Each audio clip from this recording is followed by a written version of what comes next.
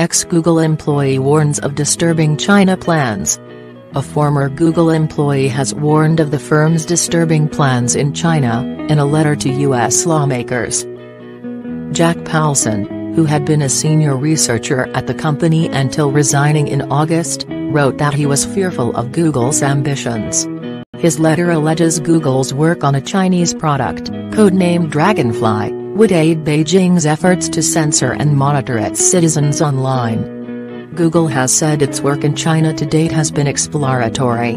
Ben Gomes, Google's head of search, told the BBC earlier this week, right now all we've done is some exploration, but since we don't have any plans to launch something there's nothing much I can say about it. A report by news site The Intercept last week alleged Google had demanded employees delete an internal memo that discussed the plans. Google has not commented on the staff row, but said, We've been investing for many years to help Chinese users, from developing Android, through mobile apps such as Google Translate and Files Go, and our developer tools. It added, We are not close to launching a search product in China. Censorship Blacklist Mr. Poulson's letter details several aspects of Google's work that had been reported in the press but never officially confirmed by the company. It was submitted to the Senate Commerce Committee, which held a hearing on Wednesday in Washington, D.C.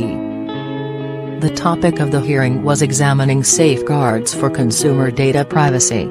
Google's chief privacy officer, Keith Enright, faced questions from Senator Ted Cruz about the company's intentions to launch a new search engine in China.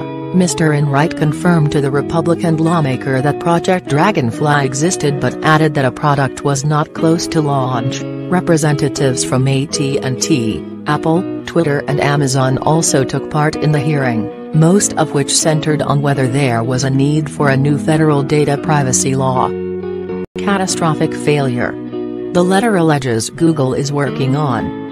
Mr. Poulson said the sum of these efforts amounted to a catastrophic failure of Google's internal policies on privacy, as well as going against assurances made to the U.S. trade regulator regarding data protection measures in its products. Dragonfly is part of a broad pattern of unaccountable decision-making across the tech industry, Mr. Poulson wrote. Mr. Poulson's letter follows a joint statement signed by hundreds of current Google employees against Dragonfly sent last month.